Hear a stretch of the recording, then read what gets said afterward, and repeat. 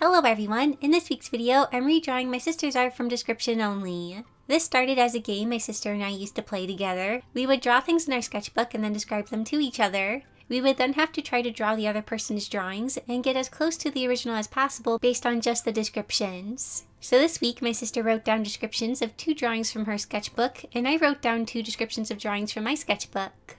My sister has posted a video on her channel redrawing my art from description only, so make sure to check out her video after this video. The last time my sister and I did this, my drawings were really different from hers, so I'm hoping I'll get closer this time around. Anyways, let's get drawing. For this video, I'm drawing on my iPad. I often do this for these kinds of videos. Plus, it's been a while since I last drew on my iPad, and it sounded like fun to change things up. I am using the app Ibis Paint X, as I usually do. Oh, also, when this little chibi pops up, it means I'm reading from my sister's description. It's not always easy to tell when I'm reading from the description. I try to make it obvious, uh, but the chibi makes it super easy to know. Uh, so anyways, let's see what she has to say. If I say aside, I mean our left and right. I sketched this in a blue color. It's a little on the gray side. Pose type, thigh up. Gender, female. Age, teens. Head, three quarter, kind of but it's not an accurate three-quarter view, so her head is just turned to the right, I guess. Torso. Her body has a kind of curve flow. Head more left, body right, then left. Sorry if this doesn't help. And is turned to the right, a bit like the head. So her shoulders are kind of back and are tilted, but just a little for flow. The left shoulder is the lower one. The whole her head more left and body right than left really confused me and I didn't really understand it. Uh, Reagan said it doesn't matter much, so I kept going. She said it was more to do with the flow of the pose, so yeah, I feel like I figured it out, but I'm not totally sure. Uh, for the legs, we can't see her legs. This is because of the skirt that Reagan mentions later. Arms. The right arm is up, holding a rose, and her left arm is going back, and the top of the left hand is kind of facing towards us. We can't see her thumb, her dress is covering it. So yeah, I just sketched out the pose as Reagan described it. It's kind of funny because I can feel really confident that I have the pose right, but in the past I've been proven wrong. so I'm hoping I read and understood everything correctly this time. Also, like I said, it has been a while since I last drew on my iPad, and I was very much getting used to it again with this picture. When I flipped my canvas, I noticed how skewed my sketch was, and I tried to fix that. As usual, when I am drawing with my camera set up, I tend to hold my head in an odd position because uh, the camera's kind of right in my face. So it makes my drawing end up being really skewed. I tried my best to not continue to do that. I try to keep looking straight on at my iPad. Uh, for the expression, she is smiling at us with a pleasant smile. Her eyebrows are tilting up and are on the thicker side, and her eyes are round and flat at the bottom from her smiling. Also, I feel like I should make it be known early in the video that I do know that I can screen record my iPad. A lot of people tell me about this when I record my iPad with my camera. So yeah, I do know that I can screen record and I actually will be in a bit. But when I'm on my iPad, I like to change things up and let you all see the process in a different way compared to when I'm working on my PC. I like being able to show you my hand and how it moves around and draws. It's just kind of a fun way to change things up. Uh, but thank you to all of you who were trying to help me. For the hair, her hair is short, it's about mid neck length, maybe longer, and is in a half up, half down hairstyle. She has two pigtails on almost the top of her head. Her pigtails are pretty thick. Most of her hair is flowy, but her bangs are not. Her bangs end up at the top of her eyes and are parted on the left. The hair part does the M shape. Oh, you know what? I interpreted this wrong, I think. I think it's supposed to have the two under bits for the bangs, but I interpret it as the bangs are making an M shape. Not that the hair part is making an M shape. Oh no. Uh, I always understand things I feel like when I'm reading through the description for a video, but when I'm reading it myself when I'm drawing the art, I tend to miss things. Aw, well I probably got the bangs wrong then. Uh, anyways, the sideburns, I don't know what to call them, and at her mouth, they are straight like the bangs. So I think I drew the sideburns correctly in this rough sketch, but for some reason during cleanup I decided to change them and make them flowy like the rest of the hair. I guess I forgot the part about them maybe not being flowy and being straight like the bangs. So yeah, I think I got the sideburns wrong later. I should have kept them like this. For the clothes, she is wearing an off-the-shoulder dress. The top goes in a straight line and has a big ruffle across her chest and arms. The ruffle ends at about under her chest. Underneath, the ruffle is fitted to her body and starts to go into a V shape. High up on her waist, the V is kind of deep. Okay, so this part was confusing me mostly because of this comma here in the sentence. I was reading it as underneath comma, the ruffle is fitted to her body. So this was making me think that there is another ruffle after the first ruffle. But I didn't understand how a ruffle could be fitted to the body. I questioned Reagan about this and she said that there isn't another ruffle. It's supposed to read as underneath the ruffle. It is fitted to her body. Uh, so yeah, I don't know if any of this makes sense, but long story short, there's only one ruffle. Anyways, back to the clothes. The sleeves are long, they are fitted and then get flowy at the elbow. They cover a bit of the left hand, and on the right arm, the sleeve is flowing down. For the skirt, it is short and full. It flows to the left and is gathered a bit at the top or pleated. She has a short pearl necklace slash choker and a pearl bracelet on the right hand. Oh no, I totally missed the thing about the necklace and choker.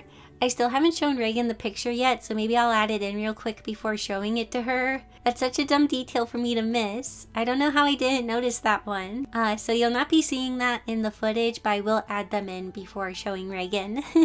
I know I technically maybe could go back and also change the bangs, but that would be more complicated, so I'm not going to. Uh, now we're on to the cleanup phase. As usual with these description drawings, I will be keeping them sketchier and less finished since I'm redrawing sketches from Reagan's sketchbook. I do feel like I spent a little too much time keeping things cleaner for this drawing. I probably could have been looser, but like I said, I was getting used to working on the iPad again. I was having a hard time either being too loose with my drawing or too tight with my drawing. I was having a hard time being like in between. Uh, but at this point, I had started to get more into the swing of things, but still felt kind of off. For a while, I did switch over to screen recording footage because my camera died and my other battery was still charging. I didn't want to wait for them, so I decided to just switch to screen recording. Uh, that being said, I'm going to switch over to the IBIS Paint footage because I don't know if I have enough to say about the whole process to last all of the footage. Uh, so yeah. The pose itself wasn't very difficult, but for some reason I was struggling with it, or more like the outfit. My first attempt looked very off, so I decided to draw the body and the arms even though a lot of the torso gets covered by the ruffle. I wanted to make sure everything under the clothing made sense before adding it in. I'm gonna be honest, for some reason I never really liked drawing ruffles, they always confuse me. I like drawing clothing folds, but yeah, ruffles are never my friend. so to help me out, I did a rough sketch first to plan out the shapes, and then did a cleanup over that. This helped me better plan things out. In Reagan's description, she mentioned that the right arm has the thumb being covered by the dress, and for some reason I just couldn't make sense of that with the way I drew things. It just kept feeling wrong to place the hand behind the skirt. So I placed it in front of the skirt instead. I know this won't be right in the end, but I prefer things at least make sense to me. And I'm sure once I see Reagan's, I'll understand the placement. Also, it was kind of funny. I had such a hard time drawing the right sleeve and I was getting frustrated. But then when I took a break and came back the next day, I drew the sleeve in like two minutes. Never underestimate the power of a break. Now we are on to adding colors. I used a light purple for her dress, rose, and eyes. Her hair is lightly colored with the blue pencil. So yeah, pretty simple. Like I said, these are just sketches from her sketchbook, so they aren't fully colored or anything. I just went around and added colors where Reagan described them. I also added some shading with the same blue I used for the hair set to multiply. I also made the eyes look a bit more snazzy because it's the eyes and I have to. They're my favorite part. Oh, also Reagan didn't describe the background at all, but I made it a light pink to help the character stand out a little bit. I know her sketchbook paper is probably white, uh, but I wanted to make it pink, so I did.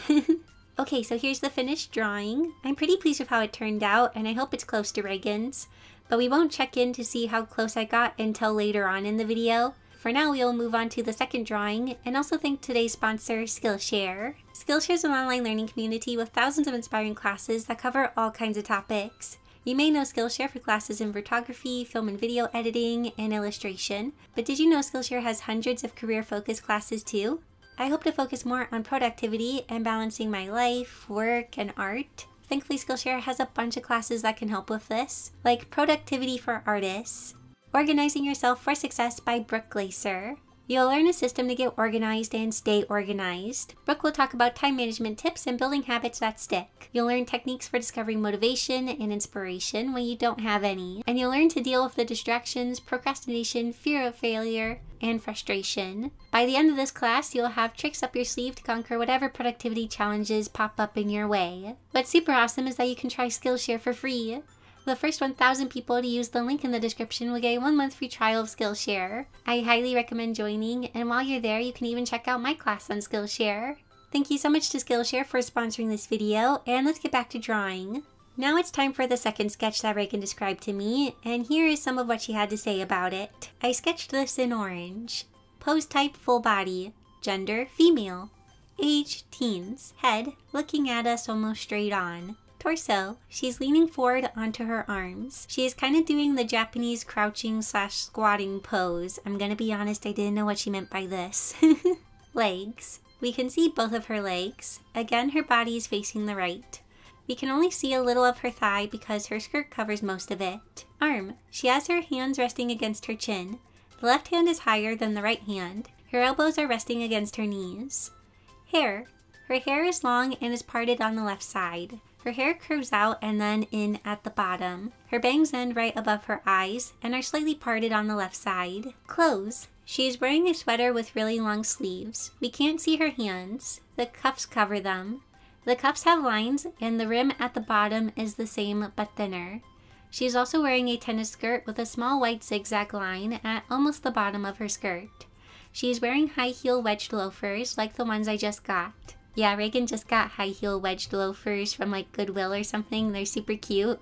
She's also wearing socks that go below her knees. So I'm going to be honest, you don't see it in the footage, but I was struggling with understanding this pose and also executing it. The character's pose was giving me trouble, especially since I don't draw poses like this super often, and I always struggle with squatting poses. To maybe help me better understand the pose, I went to Pinterest to find some crouching or squatting poses to use as reference. And as I was scrolling, I came across this picture.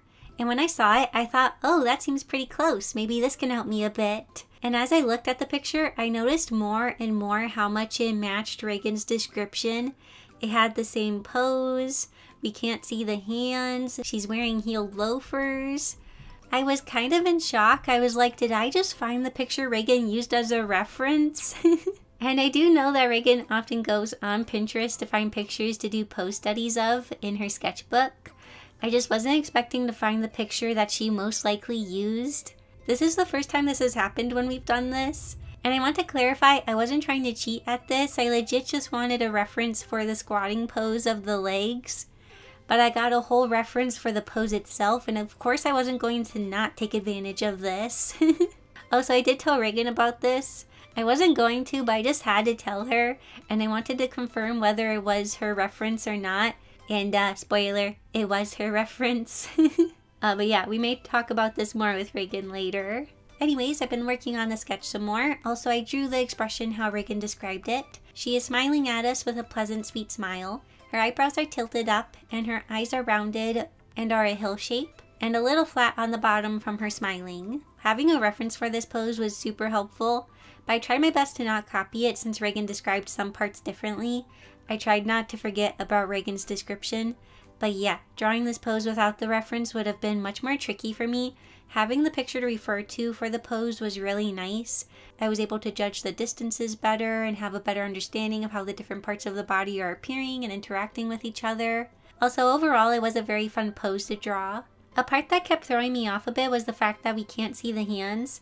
I kept feeling like I drew the arms too long, and I had to keep reminding myself that the hands were being covered. And when I would remember that, I felt like they looked okay. Drawing the skirt was actually really fun too. I feel like drawing the ruffles on the other sketch helped me feel more ready for the skirt of this one. Plus I had the reference. You'd be amazed how much having a reference can help. It was especially helpful for the legs and feet. I always find the way the legs and feet go in these kind of positions to be really confusing. I was also trying my best to make it so the feet don't look broken. I think I was able to find a good balance. Hopefully they don't look broken. also, I really like the shoes. They're so cute. I would totally wear them if I could walk in heels. I mean, I'd probably be okay in this type of heel since it's thicker, but I still prefer flats. I got a pair of lacy ballet flats to wear for my wedding. However, they are a little pinchy, so I'm not sure if they will be comfy for the whole day. So I also have a backup pair of white lace-up shoes that I can switch to. They're kind of like little tennis shoes. My dress is full length, so people won't really see my shoes anyways, so I don't really care. a part of me wanted to get really pretty sparkly shoes, but like no one's gonna see them. So once the sketch was done, I was thinking about moving on to a cleanup sketch, but I felt like the sketch would become too clean and I'm supposed to keep it kind of sketchy. So instead of totally going over the sketch again, I decided to just clean up this one with the eraser. This part was actually kind of fun. I enjoyed going around with the eraser and cleaning things up. It kind of reminded me of when I do digital painting. Oh, also, I've been working on getting my office set up. I got the second standing desk set up. I have one standing desk at home, but I got another one to use as a secondary table for recording traditional art. It's really fancy and I like it. It has a lighter wood top on it. I thought about making it my main desk, but it doesn't have holes in the desktop to run my wires through, so I decided it'd be better to keep my computer on the desk it's currently on. Oh, also, my fiance has been setting up his trains in the office. We kind of split the office in half because it's the only bonus room we have in the apartment. So he has a train table on one side and I have my work set up on the other side. He's setting up the N-scale trains. They are pretty tiny, so I think they're super cute. He also has a ton of tiny buildings and stuff, and I'm looking forward to seeing it all done. So once the cleanup was done, it was time to add colors. Reagan said she colored the sketch with orange, so I clipped a layer to my sketch and went over it with orange. This is when I learned that I accidentally used white to erase some of my sketch. And that wasn't good because now that I've clipped a layer to it, it's turning orange. And to fix this, I inverted the colors on my sketch so I could see just the white and erase it. This was a bit tedious, but felt like the easiest way to make it so I can turn my sketch orange. For the colors, Reagan said that the eye skirt and shoes are orange. The hair is a little lighter of an orange than the rest. The right leg is filled in with a light yellow. So yeah, I did as she described. This part's pretty boring since I'm just filling things in, so I'll kind of skip over it. But I did also use some of the yellow to add some shading. I added a decent amount around the torso to better express its form. Also, once again, I have to make the eyes more fancy. I lightened the color by the bottom and sketched in some lines for shading. Lastly, for the background, there is a peach color around her scribbled in a kind of round shape. And she has little white highlights in her hair, kind of like in my next door neighbors. It was a bit funny because I added the highlights to the hair in this way before reading the description. so when I read that, I was happy. I was like, oh, I was supposed to do this. okay, so now both drawings are done. I'm going to go grab Reagan and we will see how closely I was able to recreate her pictures. Okay, so I have Reagan here with me. Hi. And so we'll see how close I got to Reagan's pictures. Here we go. Oh! Is it close? It's basically the same. Oh my word. oh my word. Okay, I know I had the reference, but like, it is really close. yeah, the main difference is that, like, did I forget to say how her hair goes back out at the end? Uh, you said it goes out and then in? Oh, okay. I should have put out again. Oh, mm hmm. Because of how my shape is for her hair. Mm mm. Yeah, the hair shape is a little different, but overall it's really close. oh. uh, um, so here's the second picture. is this one close? Kind of, but not quite. Mm. For mine, her entire dress is just purple. Oh, okay. And how she's holding the rose is different. Oh, I see. Yeah, and mine does the M part, I think I described. Yeah, you see, I noticed that when I was reading through the script and I point that out, but then when I first interpreted as the bangs are making an M shape, so yeah. It's like close, and yours also cuts off the dress at the end. Yeah, I didn't know we could see the bottom of the dress because you just said we couldn't see the legs, so I figured we couldn't see the bottom of the dress either. Yeah, because I said the dress is short, so I thought like. Yeah, I was wondering about that. I was like, how is the dress short? How would we know if we can't see the bottom? yeah. So I probably should have said you can see the bottom of the dress, but I thought it would be kind of something you just like assume because you Mm. How else would you know the length of the dress? I, I don't know. yeah, it's pretty close, but very different vibes, I feel like. Yeah, I feel like they're very different in a way, but like definitely similar. Mm hmm. Uh, so, anyways, we'll look back at this one. So yes, this one, very close. Very close. I feel like she has a very similar look in her eye. Mm-hmm. They're very much the same vibe. This one is like similar, but I feel like has very different vibes for some reason. hmm But it's still closer than the last time we did this, I feel like.